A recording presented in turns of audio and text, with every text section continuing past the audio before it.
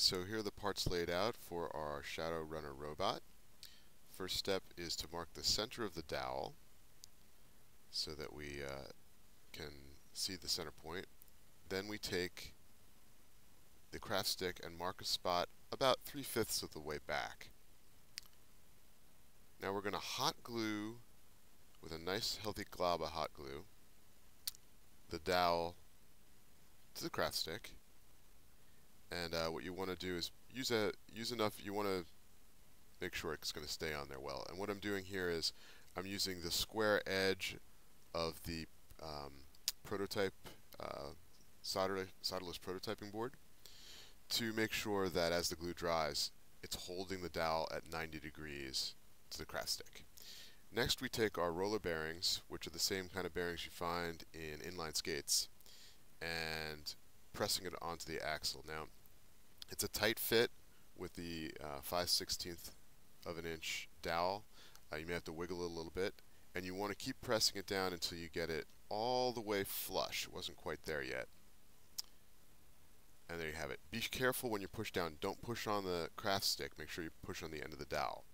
Then you take the second bearing and you uh, put that on as well. When you push on that, make sure you push on the end of the dowel and not on the first bearing. Otherwise, you'll slide the first bearing down on the axle. Next, we're attaching our motors.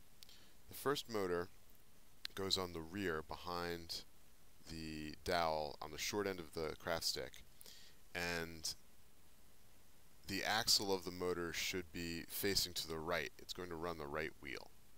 Also notice that the end of the motor axle should extend just slightly beyond the edge, uh, the outer edge of the, uh, the wheel bearing. You put on the left motor. Whenever I refer to the left motor, I mean the motor that runs the left wheel.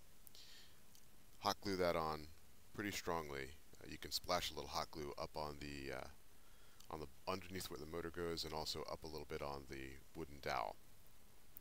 Now, this kit that I prepared, I pre-soldered on the wires and I also tested the motor so that I know that the red wire uh, will be positive voltage and the uh, darker gray wire will be uh, negative voltage in order to make the wheels move the robot forward. The, uh, the right wheel will want to be spinning clockwise and the left wheel will want to be spinning counterclockwise in order to move forward. Here I'm peeling off the adhesive backing of the um, solderless breadboard and attaching it to the craft stick.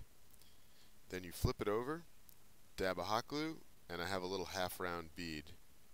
Uh, you could use something else, but uh, these were convenient. That bead will act as a, a slider for the front of the robot. Normally here I cut the um, traction bands from the balloon. I'm going to skip that for now, I'll get to that later. I'm going to start to assemble the circuit, starting with the relay. Goes in about the middle of the board, uh, a little bit to one side, and it's it's uh, very important that you uh, understand the pinout of your relay, and uh, you need it. You need to understand that as you build your circuit. Okay, now I'm inserting two jumper wires over the top of the relay. These join the two different poles of the relay together uh, and crosswise so that um, if you have pole 1 and 2 in position, in the default position, normally closed position, uh, pole 1 will cross over to the normally open position of pole 2 and vice versa. Okay, next I'm putting in some jumpers. These are going to run power around the board. I need to do that in two places. And I use red wire to indicate that. There we have that.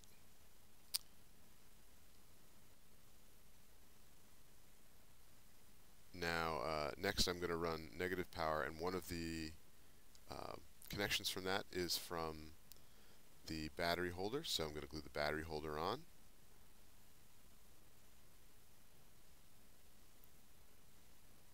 I don't really follow the steps I have the steps memorized, so I, am not really following the order of the steps that you may see in a online or written instructions, but this should give you an idea. So I've connected to the negative power lead. I also need a little jumper to jump power to a second position on the breadboard.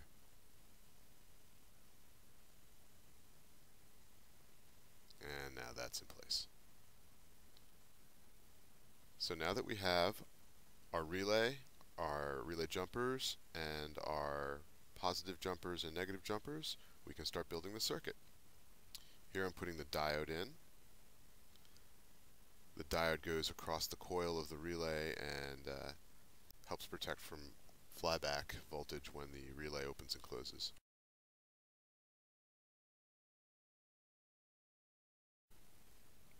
Okay, this is the first of the two NPN transistors that I'm putting in now. You have to spread the legs of the transistors a little bit and just be very careful of the placement. Uh, it's described in the written instructions, as, but um, this is a little bit tricky. Also at this point, you want to make sure the flat side of the transistor is facing the back of the robot towards the battery case.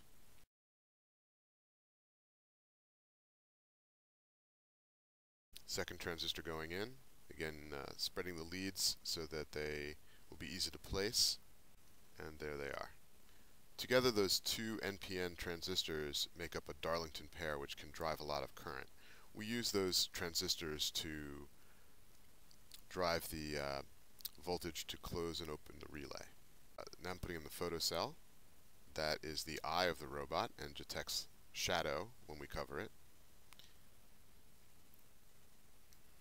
And this little tube is a shrink tube and we just use it to cover the photocell and block light from all directions except the top. Next I'm putting in the potentiometer. We only use the center and one lead of the potentiometer so I kind of bend one out of the way. It, it also, that one that I bend winds up fitting in the central um, furrow through the through the breadboard so it, it doesn't get connected to anything anyway. What the trim potentiometer does is allows us to adjust for different light levels in the room. This robot needs a fair amount of light in order to work properly, and you'll see that when I test it later. It's It can be tricky to get it to trigger properly so that it stops and turns when you um, cover the photocell, and then when you take your hand off the photocell or it's out of shadow, it continues forward. If there's not enough light in the room, you'll find it gets stuck spinning in circles, which is kind of fun too. Okay, let's build those traction bands. First you cut off the ribbed end of the balloon and you want to cut these very straight and you want to cut them just a tiny bit wider than the width of the roller bearings or wheels. And the reason is if they're slightly wider, they'll tend to stay on better. Position, getting these uh, bands on takes a little bit of practice. I like to start on the roller uh, and hold it on with one finger as I stretch it over the shaft of the motor. Once you get it on, uh, rotating it a few times tends to get it nice and centered. So that's what I'm doing there. Here you'll see I hook it over the edge of the wheel and then hold it with one finger, then stretch it over the motor axle. Sometimes it uh, gets wrapped around and you have to try again. It can be a little frustrating. I've done this dozens and dozens and dozens of times. It's, you know, still a little challenging sometimes. Okay, it's pretty much built. I'm going to install the battery. and then we'll do our tests. The red wire from the battery connects to the right side of the solderless breadboard. That's how we get power. You can see the right wheel move, moving and uh, I'm adjusting the trim pot now to try to get it to turn off properly. Right there I was double checking that the two leads of the photocell had not been squeezed together and, and, and, and uh, make sure they weren't shorted. Sometimes you have to trim a little bit of length off of the tubing. You don't want the top of the photocell sticking out the top of the tubing. You want it just a little bit below the uh, upper surface of the hole. Okay, let's test it out. There it goes. You can see it's a little stuck in shadow. The room's not quite bright enough, and so it tends to get stuck. And I'm, you'll see me angle the robot up so that it gets more light and holding it up a little bit towards the ceiling lights. This was, uh, I was working in a very high room where uh, the lights were very far from the surface I was working on. A brighter room, this, this would work a little better. But there it goes. It is working. Look at that little sucker go. Ta-da!